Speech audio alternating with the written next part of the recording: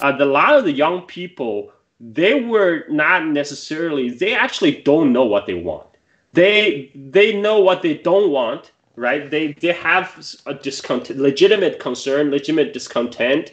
So they go on protest to express their discontent. But in the end because that kind of the the the the, the lack of goal and, and the, the, the end game they just end up being pawns in some they, they became you know they, they became the foot soldiers and the pawns for other other forces who have other agendas to play but th- that that is a good question to ask who benefit from destabilization of hong kong well the us certainly yeah i mean i mean yeah, I mean, you, you, China certainly do not want to see see uh, Hong Kong destabilized. That for sure.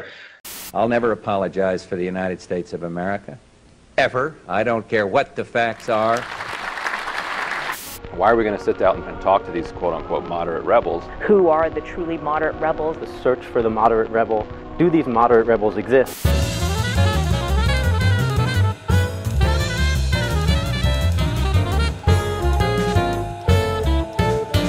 moderate rebels. This is Moderate Rebels, and this is part two of our episode on Hong Kong and the ongoing violent protests there. We are continued in this second part to be joined by Carl Zha. Carl is an expert on China who was born and raised in the country. He is also the host of an excellent China related podcast you should check out called the Silk and Steel podcast. In the first part of this episode, we discussed the history, geopolitics, and economics of Hong Kong, leading us up to the situation we're dealing with today. We also talked about the ongoing violent protests. In this part, we're going to talk more about foreign government interference and what's going on inside Hong Kong, the attempt to turn up the heat against Beijing, and then we're going to conclude talking about the new information war going on and the kind of new Cold War between the US and China, and of course, like always, how corporate media propaganda plays into that war. Here is part two. Journalists, they definitely uh, embolden and enable the protester on the ground because they felt you know look we have the support of all the all the mainstream media we are on the right you know we can do no wrong i mean that's why a lot of people uh, one of the tactics they, they use, you know, they, they used is to um, block the trains, block the block the traffic. They call the general strike, right? And they um, and I question their tactic. I'm like, how is it preventing, uh, you know, holding up the train and forcing all this inconvenience uh, uh, people on the general population. How is that gonna uh, gonna help your cause? And people uh, just say, "Oh, but that's what general strike is about." You know, you, you don't understand. That's how how it works.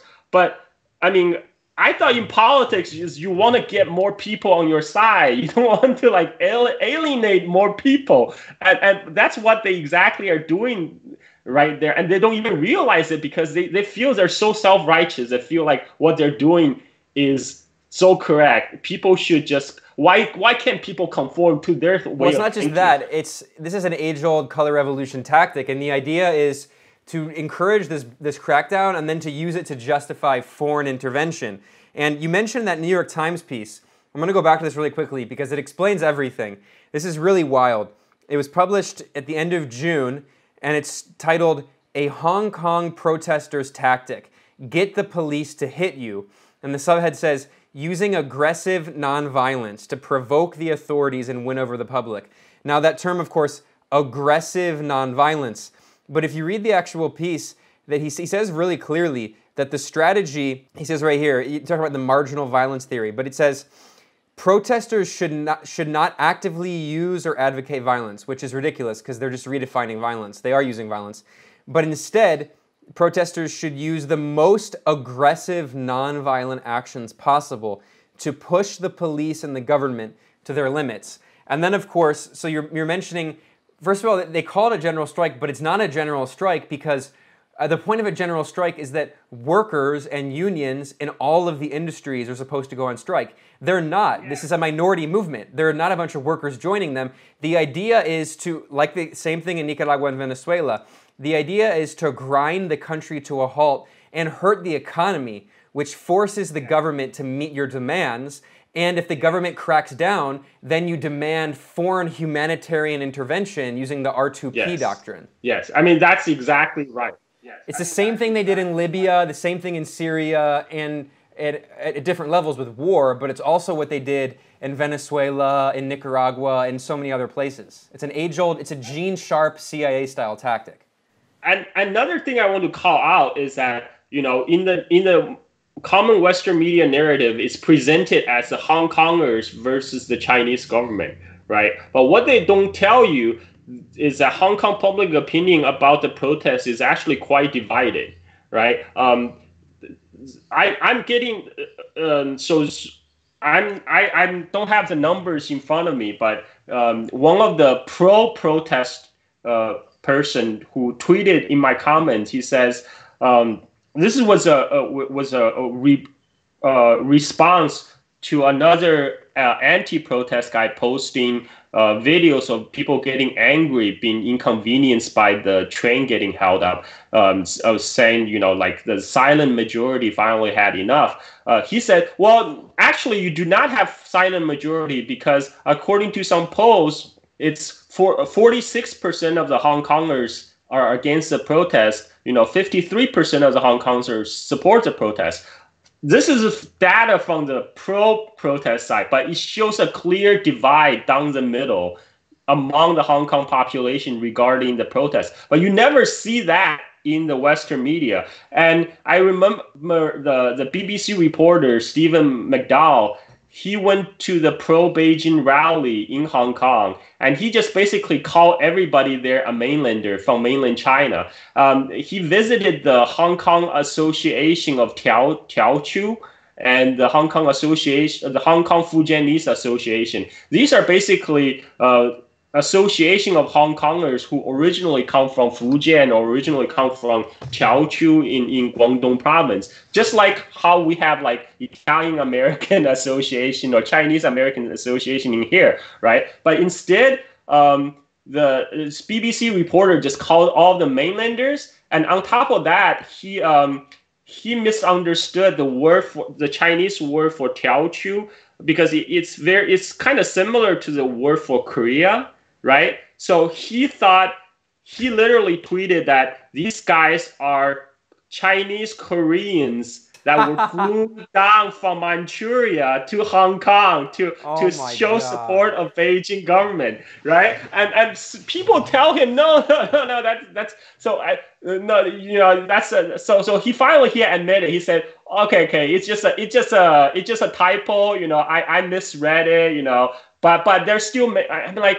Well, they're not mainlanders then. They're they're, they're local Hong Kongers who are uh, you know who are against the protest. And and he responded to me. He said, "No, no, no. they're- main. They're definitely mainlanders. So there may not be Koreans, but they're still mainlanders." I'm like, "How you can can you claim that?" He said, "Well, you are not there. I was there talking to them. Uh, uh, you know, you you are not even there. I talked to them. They're mainlanders. So I said." You talk to them and you still call them Koreans from Manchuria? exactly. he blocked me. He blocked me after that. so I'm well, I blocked want to make a quick tweet. point too, because Max pointed out that there were all these neoliberal journalists who were justifying the beating and torture of this journalist because he's from Global. Well, not all of these, but you know, there was at least one. There were several. I mean, but the point is several. that I mean, it was shocking that there was one. I just don't even know what the point of that is. But the, the point I was going to say is that hatred. what's interesting is that every time that there's a an American or Western journalist who is caught spying or doing something, in the case of Nicaragua, working hand in glove with the violent opposition to try to overthrow the government, and every time one of these journalists is deported or detained, it's like the end of the world, and all of these NGOs that are funded by billionaires uh, CPJ and all these groups are like, oh my God, this authoritarian regime is is attacking journalists. But then you actually have professional corporate media journalists, or for other state media outlets who are defending attacks on Chinese state, state media journalists. And my response is saying, okay, so if you're going to justify that, I guess that means that China, Russia, every other official enemy of the US government now has the right to detain uh, journalists from US propaganda outlets like Voice of America or Radio Free Europe, Radio Liberty, or all of these other Radio Free Asia, which was created by the CIA. It sets a really dangerous precedent, and you know, so does registering RT as a foreign agent because there are plenty of people working in Russia with VOA who are now registered as foreign agents, and so it sets a bad precedent. It's a, it's a dangerous spiral. I mean, like where, where does it stop? And and and and the, also like people just you know what about what about basic humanity? How about like don't beat a person half to, to death just because you know you you felt like they need to be beaten, right? I mean, like what happened to to rule of law and presumption of innocence? You know, like like like people people talk about freedom and democracy, but every time they are uh, their side is you know their side is in the wrong, then all that stuff gets chucked out of the window, and and and and that's what comes down to in in Hong Kong right now. Like I see a lot of conversation on Twitter. It's not even about uh, it, it's about just like staking aside, right? Like people are saying this is I I support this because I mean one of the funny thing is that all these um, Hong Kong protester waving American flags. Right. Yeah. Um, I, I tweeted it because I thought that was funny. Like they were singing uh, American anthem at the airport, and and let's, let's play that video right now. Here's a video of them singing the national anthem on megaphones.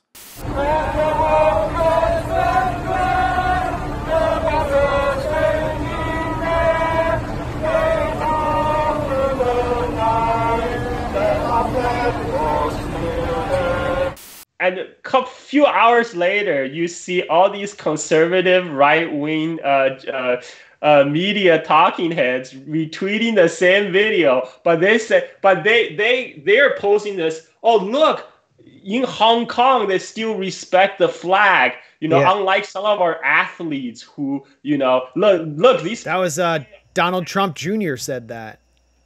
Yes, yes, and and and it was tweeted, and and it was also tweeted by Sean uh, Hannity, uh, who who says, and then Donald Trump himself retweeted Sean Hannity of that same video. I was right about to ask you about this. Um, there was a, a alt right figure, Joey Gibson, who was actually beating up Antifa people in June in Portland. He has this group called Patriot Prayer, and he he swears he's not a white supremacist, but he showed up at one of the big anti-extradition rallies, live streaming it, waving an American flag, and you know you can hear him saying on the live stream, "Oh, they love our flag here more than they do in America." You know, so you had an actual alt right person go to Hong Kong, and now you're seeing all of these um, symbols of Pepe the Frog on a lot of the paraphernalia and propaganda that's being distributed in the protest.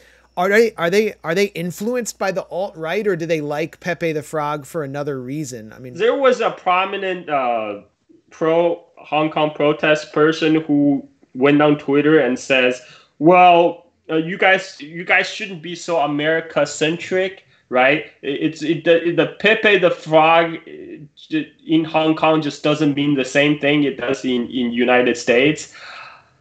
I mean, what can I say? so what does it mean? I mean, Hong Kong. Hong Kong people have, you know, there's no great firewall in Hong Kong, right? Hong Kong people have access to Reddit. they have access to to 4chan, you know, like they they know they, they have no excuse. I, I don't think they have, they get a pass. Yeah, okay. So there there I mean, I haven't seen any explanation to indicate that they are not consciously adopting a symbol of the white nationalist alt right. And then, you know, my mentions in any time I criticize the protest tactics or their rhetoric are filled with, you know, ostensibly progressive or left-wing people, the kind of people who fulminate over imaginary red-brown alliances who are attacking me for for criticizing it, but it really appears that this movement in its in its tone and its symbols um, in its politics and I would say its ideological agenda is right wing, is ideologically right wing. Well, is that fair to say? It's the blue brown alliance between liberal imperialism and fascism, and it's the same alliance we saw in Ukraine that we see in Syria and Libya. Liberal imperialists supporting fascists. Yes, yes. I mean, the, the, I mean, I have to say though, um, the people who are openly for Hong Kong independence, uh, uh, uh, waving the American flag, the Union Jack, they are still a minority. That's like the National uh, Party among the protesters. They, but they happen to get the most press attention because what? That's grab eyeballs, right? And and their action get magnified in the press, in the Western media for various reasons. For mostly for like the stupid reasons, like oh my God, look, they love America over there, and and then the, the right wing people say, oh, like you know, our own people don't even love America as as uh, as, as well as these Hong Kongers, right? yeah. yeah. So so you you're you're saying that the right wing elements are a kind of vocal minority within the protests. Yes, yes. Um, I, I well, I mean the the, the ones we, who explicitly identify with the kind of the identitarianism, uh, you know, what we we are more familiar with uh, with the West. But there's uh, there's a large nativism element in in the protest so so kind of different like I, I, I, I'm kind of sounds like I'm splitting hair right now, but but there's a lot of um, definitely a lot of nativist hatred. But the, the, the, the people who uh, specifically, I'm talking about specifically waving the American flag, singing the national anthem, waving the Union Jack, those are a vocal minority, right? But whereas the, the, the native sentiment against the mainlander, that's actually quite prevalent. Yeah. Yeah, and on on this note, uh, you know, you were saying earlier that we shouldn't overstate the U.S. influence, but we shouldn't understate it. And I think what's interesting is there's been a video that's that's gone kind of viral on Twitter. It's in alternative media outlets. It's gotten some coverage, of course, completely ignored in mainstream corporate media. But it's a former Reagan official. I'm going to play it here. A former Reagan official boasting that many of these groups Uh, in Hong Kong are funded by the US government and specifically its regime change arm, the NED. Here's the video clip. Chinese pro democracy demonstrators have taken to the streets in Hong Kong, and the Chinese media, state owned media, has said that it's all the fault of the Americans. Joining us now to make some sense of this is Dr. Michael Pillsbury, a senior fellow of the Hudson Institute and former Reagan administration official. Thanks for joining us. So, what do you think? It's all the Americans' fault? It's not all our fault, but we're partially involved. We have a large consulate there that's in charge with taking care of the Hong Kong Policy Act passed by Congress to ensure democracy in Hong Kong. We also have funded millions of dollars of programs through the National Endowment for Democracy to help democracy in Hong Kong. So, in that sense, the Chinese accusation is not totally false. And in addition to that video, uh, a colleague of ours, Alex Rubinstein, published a really good piece at Mint Press News uh, right at the beginning of the protest, actually. It was an important piece. It's called American Government and NGOs Fuel and Fund Hong Kong Anti Extradition Protests. And, and Alex went through and looked at all of these groups that are being put forward as the kind of spokespeople and leaders of the protest movement. And the majority of them receive money from the US government's soft power arm, the National Endowment for Democracy, at the Gray Zone and here at Moderate Rebels, we've done a lot of stuff showing the NED funding, for instance, a lot of these Uyghur groups uh, that are putting out these uh, flawed reports based on like extrapolations of numbers. They talk to like six people and then they multiply times the population, and they're like using Radio Free Asia reports. And then we've also, of course, talked about the NED funding the right wing opposition groups in Latin America and Africa and the Middle East. So maybe could you talk more about who some of these groups are and where they get their funding from? Well, uh, I, I, talk about the figure Jimmy Lai, right? He's kind of like the Rupert Murdoch of Hong Kong.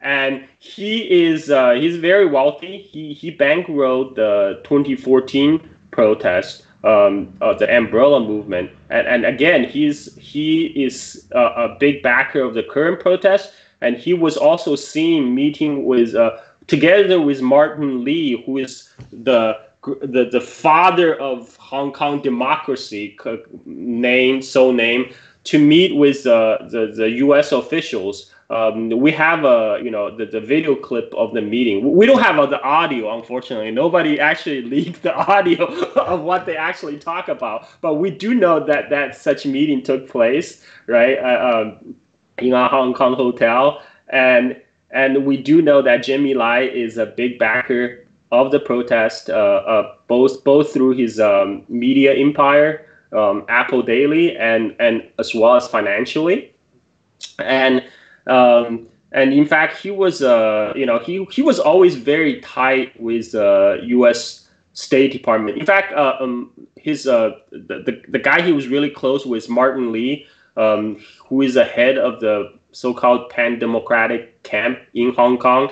Um, he like the NED um, has like a whole biography of him. Uh, uh, uh, like if you go to you search NED and Martin Lee, you know you will find it. And and uh, so so, but these people are right now they're more working in the background. In this this movement, the, the media is portraying this current movement as a leaderless quote right. unquote right. movement, right? And like like all the and even even the people like Joshua Wong, who was more prominent during the 2014 uh, protest, they're basically their role was uh, like on the meet they they they're like the public face. They, are like the Bana Alabed. He was like 17 years old at the time, and he was like, "Help us, please! I am a cute Bana baby boy." Uh jo- and then like he has some Netflix documentary about him like teenager versus superpower. Except he's backed by the superpower because the NED is like lining up the pockets of uh what's his group called? Dem- Demosisto? Yeah. Yeah and so I mean so you're saying the- these are just the kind of cute faces and then you have the leaderless resistance which is another Gene Sharp kind of tactic. Yeah, they say they're leaderless, but what that means is that they can impose any leaders they want on it. So the media determines who the leaders are. They're not chosen by the actual grassroots, and the media chooses the leaders that just so happen to be the groups funded by the NED. Right. Right. And and so one um I was I, I follow a bunch of Twitter uh, uh, tweet posts from like the from Hong Kong who are uh, I follow both sides, both both the both the pro protest side and the anti-protest side. So there was one anti-protest uh, Hong Kongers. He he posted something interesting. He said, "Well, hmm, isn't that interesting that for all these talking about disruption?" All the all the protesters always show up at these uh, blue collar working class neighborhood um, you know, uh, uh, really inconvenience people, but they never go to like the really ritzy, classy, um, like rich neighborhood. Like, like they never go say they, they, they say they're against the Hong Kong governor Carrie Lam, but they never went to his her house to, to, to, to demonstrate outside. They never went up to the Victoria Peak, which is the, the most elite of Hong Kong residents. Uh, there to protest. You know, they never they never shut down the the Hong Kong financial district right? Which is the really the lifeblood of Hong Kong.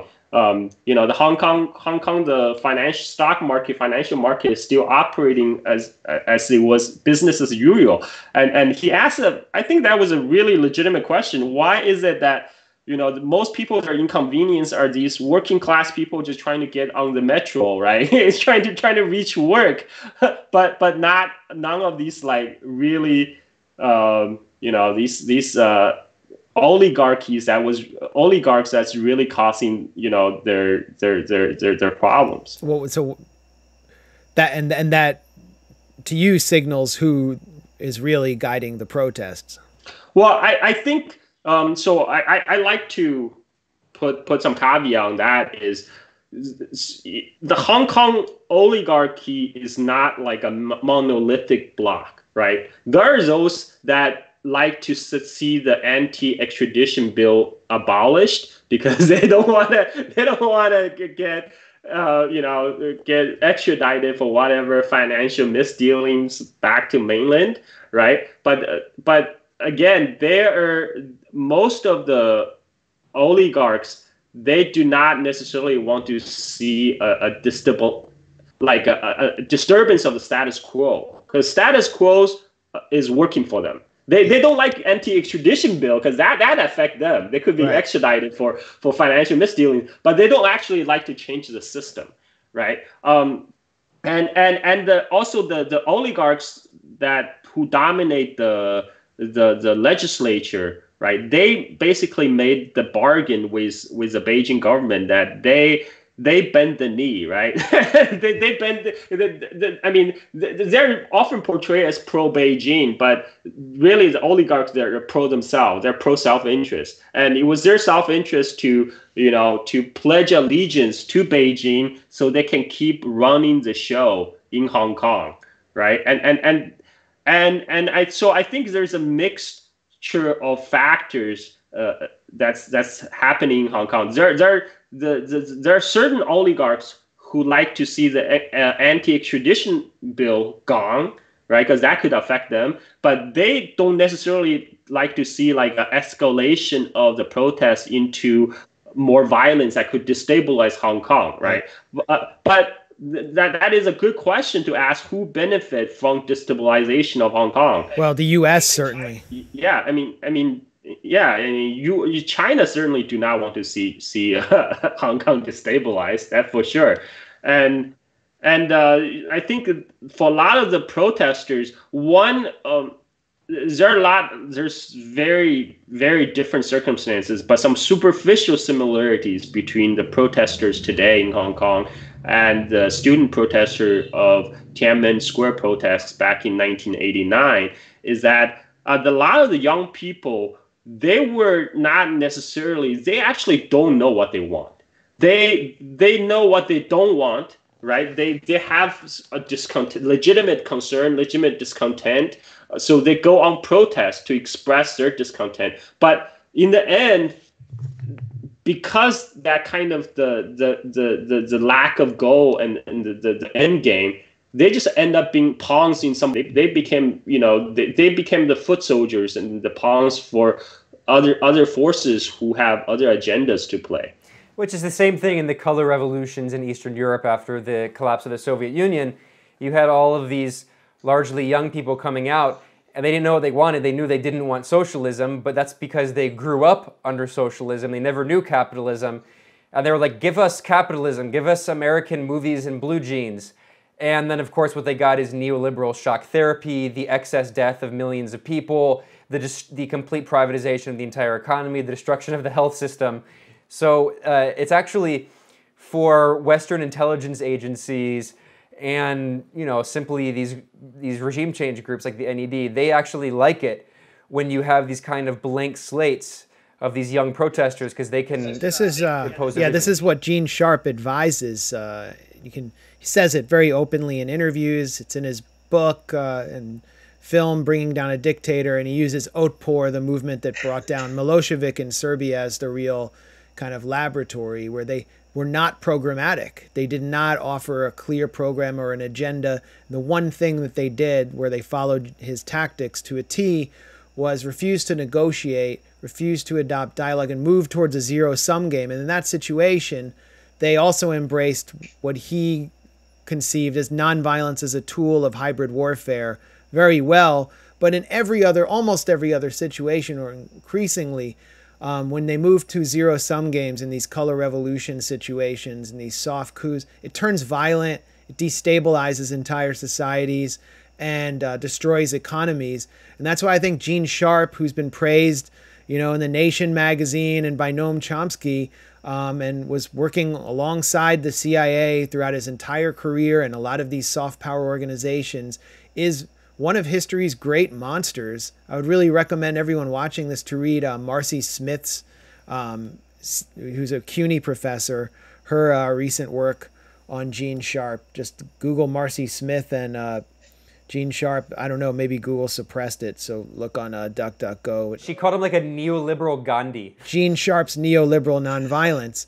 But that, that I mean, first of all, like, you know, my, is that where we're, are we moving to a zero sum game? How do you see this resolving? And uh, the other part of the question, Carl, is that you mentioned, um, you know, talking to people on the mainland who are seeing Chinese citizens in what is technically China rendered helpless, being beaten um, without any protection and getting really angry. What? How is China going to respond to this?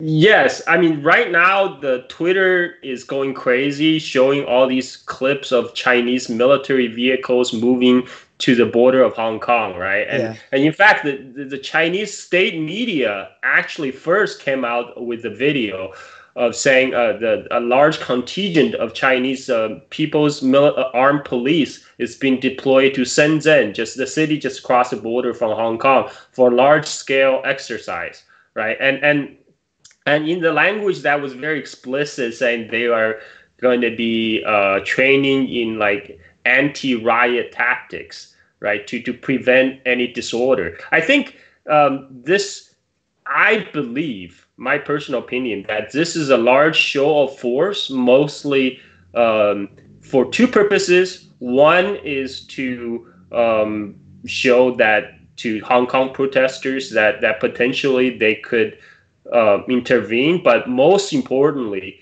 really to satisfy the domestic audience on mainland because right now a lot of the mainland chinese are very very angry uh, my cousin literally told me he said I don't understand why is it like a Chinese person being illegally detained and beaten, um, uh, denied medical service inside airport of his own country without any protection. He he was he was baffled, and and and it's a lot of these average Chinese people who see this on live feed. They're, they're very very angry right now. They want PLA to go in Hong Kong and crush the rioters.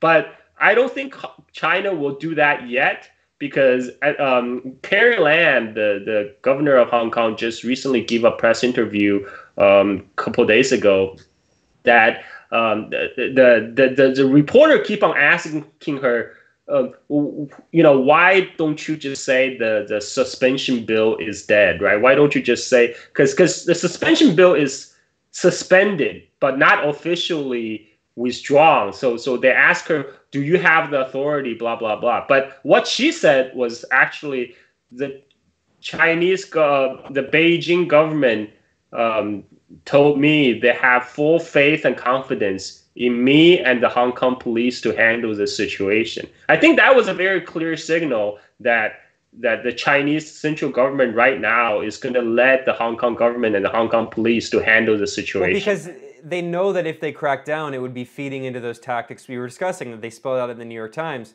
And this actually reminds me a lot of Syria, where, I mean, Syria is an extreme example with like brutal warfare being waged by numerous international powers. But the thing is, what's wild about Syria, and like the Western media narrative is just so insane. If you talk to people who were living in Aleppo, the majority of Aleppo was government held. And if you if you ask them what they thought, some of them were actually mad that the, that the government and the army were not actually being even more violent and crushing the Al Qaeda allied forces in, in occupied eastern Aleppo because they were shooting mortars and indiscriminately attacking uh, neighborhoods, especially like Armenian and Christian neighborhoods inside Aleppo. So, of course, the Western media portrays these governments as if they're these authoritarian regimes but then if you actually talk to people living in the government held territory, in the case of uh, Hong Kong and China here, or in the case of Syria or other countries, they actually are mad that the government is not clamping down more. Yes, I mean the, the, another side that the Western media ignore is that the Hong Kong society is divided ab- about the protest. Not everybody, uh, not all the Hong Kongers support the protest. They're they're, they're quite uh, uh, according to the pro-protest side, there's at least half of the Hong Kong that doesn't support it, right? And and right now, what the, the a lot of the, the disruption campaign they have done or to disrupt the train, disrupt the traffic, to shut down the airport, they actually managed to alienate a lot of people. You know, like they may have had half of the population supporting them before. I'm not sure about that now. And and from from Beijing's perspective that's just fine because then the, these these protesters are just digging themselves into a hole here. They're they're losing more and more public support every day, and and whereas if you if you send in say PLA or People's Armed Police in right now, this is exactly what those protesters are aiming for. They're they're going up the escalation ladder to for some some big reaction. And now Western media can can pose this as oh Tiananmen 2.0. You know, you already seen uh, some media pundits oh, wondering openly, oh my God, is this going to be a Tiananmen 2.0, right? I mean, well, it's more like hoping openly. It's like, you know, they're on drink number four at the bar with their date and they're kind of like, uh, is this going to be? Is oh, this going to be it? You know, they're like anticipating. The anticipation is growing, and they can't wait. They're they're uh, thirsty. That's that's what I get. A, Maybe you want to cut that part out. no, I, am not. That's the what. That's going a fe- back. A few, that's a feeling I get from the Western press. They're hoping for a full-on PLA yeah. invasion, and what I see, based on, um, you know, Ben keeps bringing up the examples of Nicaragua and Venezuela, and I think they're they're apt in a lot of cases. In, in Nicaragua, when the opposition embraced the, the tranque, the, the, the roadblocks, where they put criminal elements at roadblocks and started extorting, torturing, burning, killing motorists, police, average people, and especially Sandinistas, uh, that really dealt a strong hand to the government because the public turned against them. And in Venezuela, with the Guarimbas, um, when Nicolas Maduro in, called for a constituent assembly, uh, the Guarimbas were dead, and the public came out and said, "Let's let's have a vote and let's get rid of this national assembly that's been stoking this violence." And you know, I see a similar situation possibly on the horizon here, but in both of those cases, the failure of the opposition led to U.S. sanctions. So you could see an intensification of brinksmanship and the trade war with the U.S. and China after this, because besides the you know hard on for PLA invasion that a lot of the U.S. press and bipartisan foreign policy consensus in Washington has, you also have this kind of talk of like Donald Trump needs to do something. Donald Trump needs to say something, and they don't even say exactly what you know what Trump should do. I mean, what practically could Donald Trump do in this point? I'm going to read a tweet uh, and it really shows you how Trump is pissing off the national security state. I know President Xi of China very well. He's a great leader who very much has the respect of his people. He is also a good man in a quote unquote tough business. I have zero doubt that if President Xi wants to quickly and humanely solve the Hong Kong problem, he can do it. Personal meeting. So Trump is actually talking about diplomacy, which is anathema to the whole way the national security state and the militaristic corporate media thinks. I don't know what the hell else he can do though, and I don't think he does or anyone else does. And you know, everyone's like uh, t- saying to me like, "You're not going to say anything about these Hong Kong police." Like, what does me saying something practically do? So I don't see anywhere else this can go except a de-escalation and except the public kind of turning against what took place at the airport. What do you think? Yeah, I think you know this is. Um this might be a we might be at a turning point right now after the really ugly violence at the airport. At this point, the the, the protester can either choose to escalate further, um, potentially alienate more people, or, or, or stand down. And and uh, in the end, you know, it's so I think you will you know, like an, an, another comparison might be the yellow vest, yellow jacket protest in, in France, which has been gone, going on for what 30, 30 weeks. And well, I only follow U.S. media, so I don't know what you're talking about. I've never heard of it.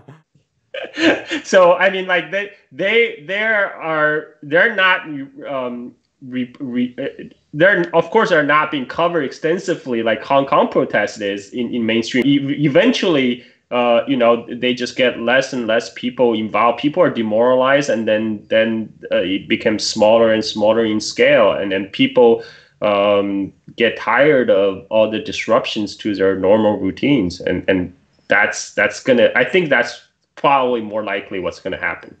Uh, before we wrap up here, I have a question about the media. We were, we were talking about how awful the Western corporate media is. There's nothing new with that. But I'm also interested if you can explain some of the nuances of the Hong Kong media. Because I've noticed, at least in the English language Hong Kong media, that most of it is pretty anti Beijing.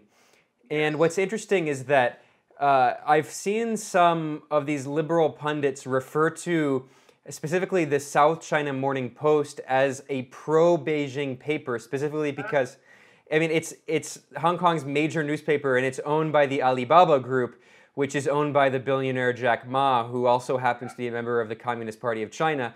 So I've seen some liberal Western journalists say, "Oh, this is this is a, a mouthpiece of the CPC." But if you oh read if you read the the SCMP, the South China Morning Post, it's very clearly very critical of Beijing and supportive of the protests. And I also noticed this group, there's this new kind of Vice style small media outlet called Inkstone. And Inkstone actually, it says at the bottom of its website that it's actually owned by the South China Morning Post. And Inkstone is actually founded by former New York Times and Vice employees. And Inkstone has been doing these kind of Vice style videos on the ground with like shaky cameras and really, really pumping up the protests. So, can you talk about the, the media climate inside Hong Kong? Yeah. Oh, yeah. Basically, um, that media climate in Hong Kong hasn't changed significantly after 1989 Tiananmen Square protests. After 1989, basically the entire Hong Kong media is against Beijing, except like a couple newspapers. Like there are there are pro Beijing newspapers. There are Da Gong Bao. There's uh, uh, the Bao, but they're all Chinese language newspapers. There's like in English, there's no pro Beijing English media in, in Well, this Hong is an Kong. obvious proof of this is proof of the dictatorship that doesn't allow freedom of expression or press. Right, right, uh, and and and South China Morning Post actually had its origin as an expat paper. It was it was founded by ex. Yeah, it used to be owned by Rupert Murdoch. Oh yes, yes, yes, yes, yes, yes, yes. Um, it, it was uh, it was founded by expat. It was run for expat. I mean, it was the main audience originally was expat, and it was only recently ac- ac- acquired by Alibaba, which is owned by Jack Ma. But when Jack Ma uh, uh, assumed ownership of um, S- uh, SCMP, South China Morning Post, he promised he will leave the editorial give give the full editorial independence to the to the newspaper which uh, after a couple years after the fact that looks to be the case because um, the tone in South China Morning Post is still pretty anti-Beijing if you if you read it. And and and and like a lot of the the journalists on the ground employed by S, uh, SCMP they are local Hong Kongers and many of them are pro protest and, and you can watch you can i follow a couple of them on twitter just to get like more on the ground uh, you know the more more live feed of the situation. And and yeah there's there's really no pro beijing voice in the hong kong, Kong media landscape which uh, means uh, yeah like like you said like if if if hong kong freedom is somehow uh, under threat. I don't know. I don't know what that means because you know they, they're having huge. They had the huge uh, peaceful protest before that was allowed. They have all these anti-Beijing media that that was the full blown. And and you know the only thing they're protesting was the, the trigger was an anti-extradition bill which was suspended. And and and and like but like I explained earlier really the, the, the underlying sentiment was the uncertainty and the discontent. You know they they seek a certain outlet and unfortunately that outlet has been you know directed into nativism right and and the the kind of uh, really ugly nativism that we saw Yeah, I, I have one one uh, last question, which might take the form of a short rant. Um, and you know, we haven't really done China on moderate rebels. Um, we certainly haven't done it to the extent that we should. Um, and it's obvious that we're moving into a new Cold War with China, um, you know, we talked a lot about Russiagate, and Russiagate was really something that fell on fertile soil within elite liberal circles, kind of the East Coast intelligentsia, just lapped it up, and they fell for the whole thing of, you know, Putin's responsible for the uh, rise of the alt right, and he's responsible for uh, the take the knee protests in the NFL, and just all the instability and all the fake news, yada yada yada. But uh, a lot of the Republicans didn't go for it. Right wing media didn't really go for it because it was an attack on Trump, and they kind of put up a fight. But on the on the issue of China, I'm really seeing a consensus here, and not just the usual bipartisan consensus where like Kamala Harris and Newt Gingrich agree, but you know a consensus between like actual kind of left progressive media personalities and hard right personalities. I saw some left, kind of left of center journalist who's, you know, supports AOC and the squad, saying that they want to see China confronted. And one of the things that really stirs up people on the left is all of this talk of like 70 million Uyghurs in concentration camps or whatever the number is. It fluctuates daily. Uh, I'm not doubting. Depending on what Radio Free Asia reports. Actually, I have an update on that because China just announced that they're closing uh, all the all the vocational training centers um, because they they they said um, the the original per the, those centers have served their original purpose. Um, now the people have been rehabilitated and all all sent home. So this is not reported in the Western media because well, we are we're still kind of time lag here, right? And, I think um, there was kind of silence on that issue, Uyghur issues lately for a couple reasons. One, I think maybe um, they're trying to come up with some evidence to refute China's claim, and and maybe figure a way how to spin that. And and then the second reason is uh, is just because Hong Kong happened. You know, all the right. all the media sources. Well, and on this subject, Carl, I would recommend any listeners and viewers to check out his podcast. Carl Zha did a really good episode on the Uyghur issue, and he pointed out that. You know, I have a piece at the Grayzone pointing out that if you look at the actual numbers of the people who were supposedly held in these re-education centers the numbers are like the numbers of supposed detainees who were supposedly tortured to death in Syria. The numbers are based on averages that they just multiply by the number of days or cities. So in the case of uh, the, the Uyghurs, uh, you had Radio Free Asia, which is a US government propaganda mouthpiece that was created by the CIA after the, the Chinese Revolution, and Radio Free Asia and these US funded so called human rights groups just went and talked to some people in Xinjiang and then asked who in your family has been in one of these centers. And then they took that that number of people and multiplied it by the population.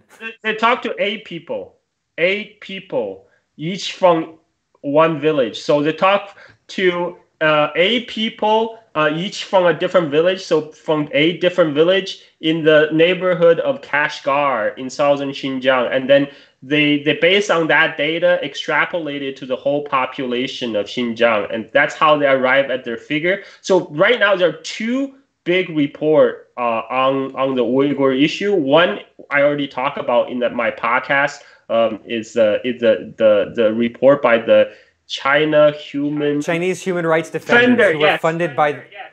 Who were funded um, entirely by foreign governments, mostly by the U.S. government, and you can find uh, my report at the Grayzone where I show all of the tax documents proving that they're they're funded by the U.S. and then also all of the the board of directors members are just like neocons and anti-China activists. Yes, but I get I get flagged for not talking about the other report that was also you know the, the other big report which is by adrian zenz right um, it, it's because that adrian zenz report actually came was published after uh, I made my my podcast. That's why I wanted to do a um, like a more update, uh, like another podcast update on the Uyghur issue because I didn't get to cover the Adrian Zenz report on the on my previous podcast because I didn't know it, it existed out there back back then. And the Adrian Zenz report, I have looked at it, dissected, read it, it was a lot more details. Uh, you cited the satellite intelligence um, of like the, the, the facilities and stuff. But I, I look at the actual numbers. Um, it was still extrapolation. It was still ba- like a number based on a, a Turkey, a, a, a, Uyghur exile group in Turkey, um, and and and the the basically nobody the, the, the, the so basically the 1 million 2 million 3 million number they just made it out of a hat, pull it out of a hat, and, and, and nobody has the exact number. So, but, but let me let me pre- preface that. Like, if even if there were, uh, let's not argue on numbers. Even even there were 20,000, 30,000 people uh, wrongfully detained, that would be terrible. That will still That's be bad. terrible. That, but but that the, back to the numbers that 3 million to what 2 million 1 million now somebody are saying like 7 million or whatever that number is completely made up. That was just there was no basis for that number. This is the same thing that these fake Western human rights groups did with Syria. I mean, it's the same thing with China. Like the Chinese government did not dispute that they had these re-education facilities for extremists.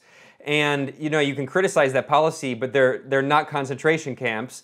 And it's the same thing that happened in Syria. That the government hasn't disputed that it has tortured people. Like everyone knows the Syrian government has tortured people and killed people in this war.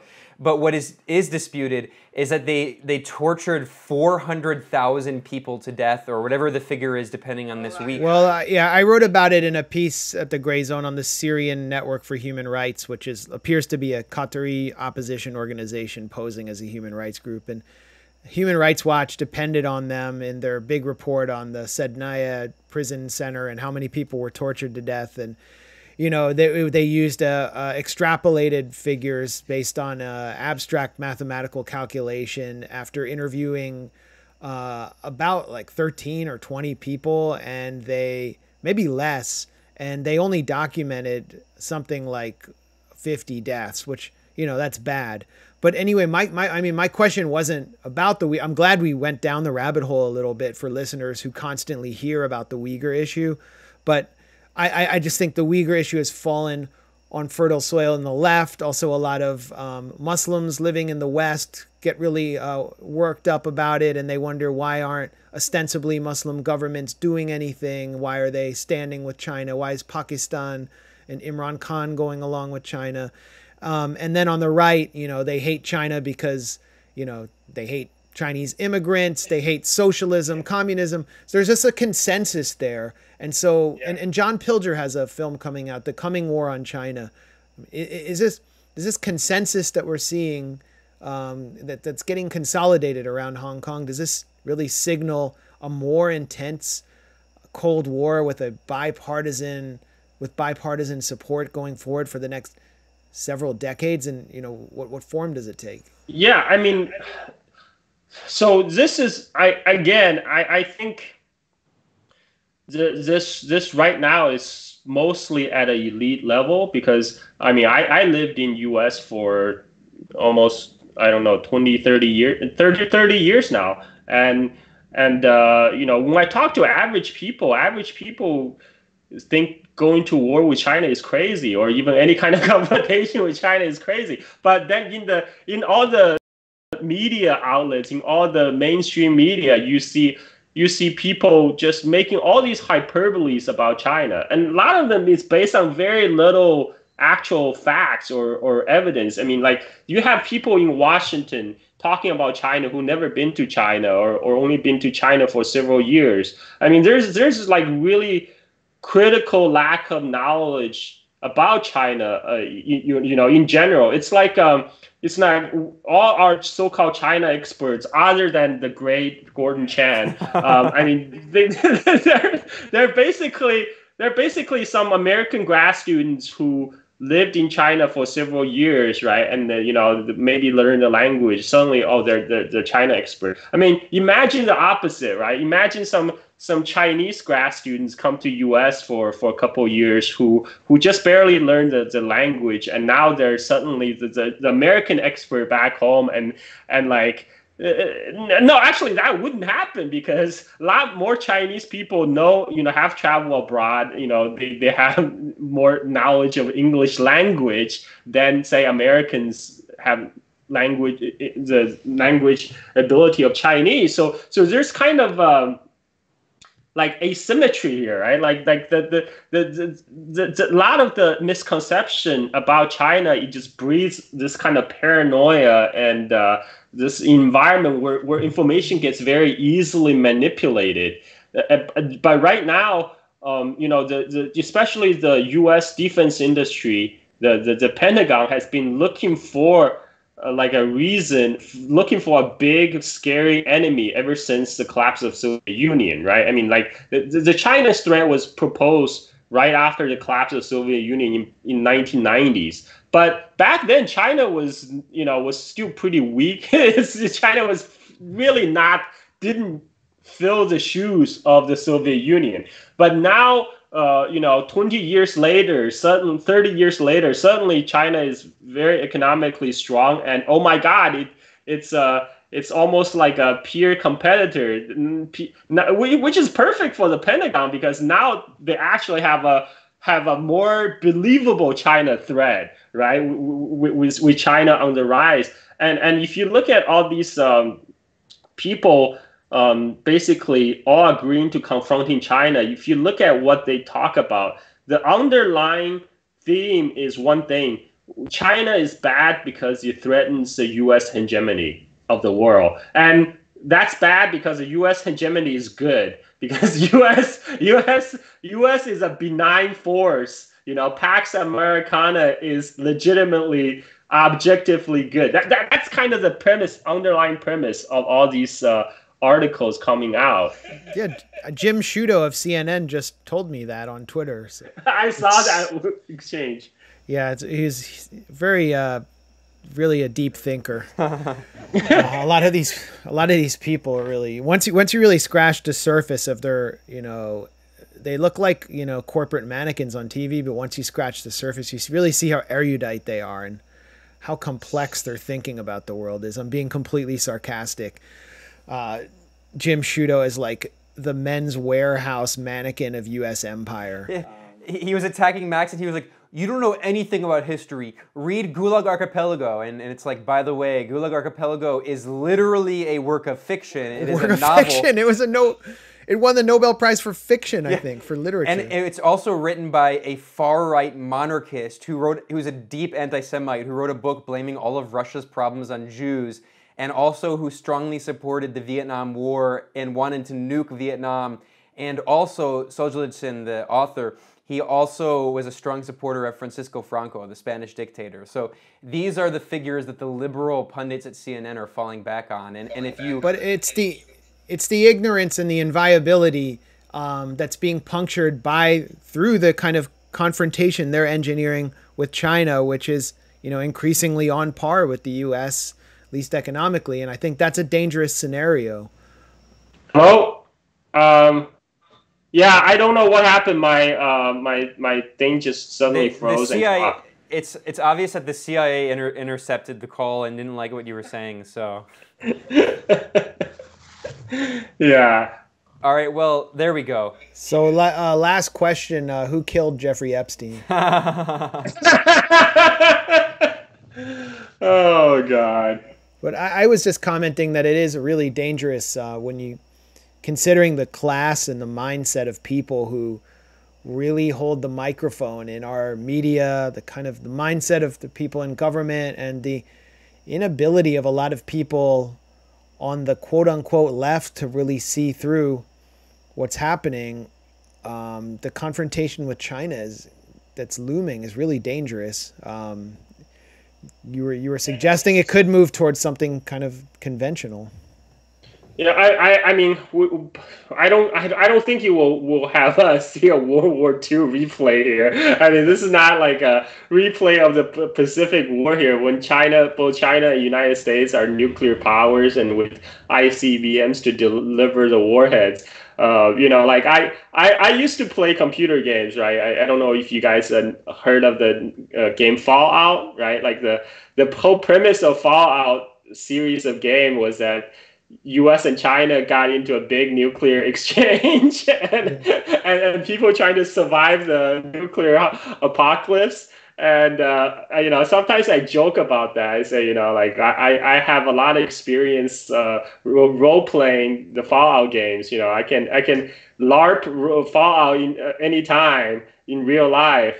Um, but I think probably more, more likely scenario is gonna be a lot of lot of tension, a lot of uh, proxy war level conflict, like what we see in Hong Kong right now, like what what they call what the fourth generation war, warfare or whatever. Hybrid warfare. Yeah, unconventional Yes. warfare. Yes. Um, and, and, and, and also, you know, part of the what the, the U.S. campaign was, uh, um, you know, like the, like the Uyghurs. They they. I mean, there there's some legitimate issues in China itself. You know, China China is not not Snow White. It's not. it's not. It's not. It's not Wisconsin or Minnesota even, right? But like, but like the but the, the aim of uh, China, U.S. State Department and Pentagon is really to weaken uh, uh, a peer competitor that's that's rising to challenge the, the U.S. hegemony, and and they see they could do that by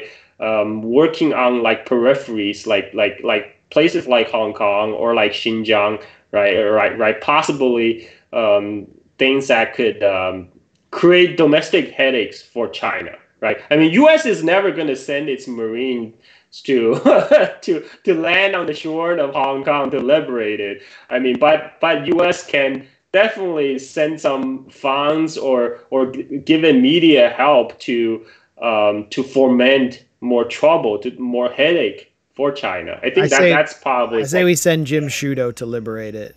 he goes first. I, I agree. we all agree on that point. All these chicken hawks have to be the first people to sign up for the war. I'll pay for his parachute. I'll, we'll we'll we'll set up a Patreon for his parachute. all right. Well, I think this is a good good point to wrap up. We were speaking with with Carl Zha, who is a China expert, born and raised in the country, an actual China expert. We were talking about the fake ones and also uh, the host of the excellent podcast Silk and Steel. I would highly recommend the Silk and Steel podcast to anyone who's watching or listening. Uh, Carl, can you tell people where they can find your podcast and, and some of the work you do? Yes, um, you can just uh, go to Google, search for Silk and Steel podcast, or you can just search for my name, Carl Zha. Carl spelled with a C, and C A R L, and then just my last name, Z H A. That's spelled Z like zebra, H like Henry, A like apple. Um, so if you search Carl Zha, my podcast will either be the the first or the second link. Because uh, I had two, I had a pre pre uh, a prior podcast also called Clash, because that will probably come up as well. You know, my old uh, Uyghur episode was in was in Clash. Um, I, I, made all my Clash episode basically free for general public. Uh, it's worth to listening to all the archive one, but I do plan um, a, a, new update on, on the Uyghur situation in China, and I'm also going to do another upcoming episode on um, on Hong Kong issue itself on my, my podcast. So uh, people welcome to. Excellent. Well, looking forward to that. Thanks for enlightening. Great. Us. Well, thank you so much. That was yeah, that was really informative. Thank you very much. And also follow me on Twitter. My name Carl Zha, just Carl spelled with a C, and my last name Z H A Z uh, like zebra, H like Henry, A like apple. Thank you guys again. Thanks a lot, Carl. Of course, the pleasure is ours. Thanks a lot. And you have been watching and maybe listening to Moderate Rebels. You can support us um, I'm Ben and Max Blumenthal. We, this show is entirely produced by the two of us. We have no external support, so if you want to help support these kinds of in-depth interviews and discussions, you can go to patreon.com slash moderate rebels. And of course, you can find our show on YouTube, and you can find the uh, audio version on iTunes, Spotify, everywhere else. Thanks a lot for listening, and we're out.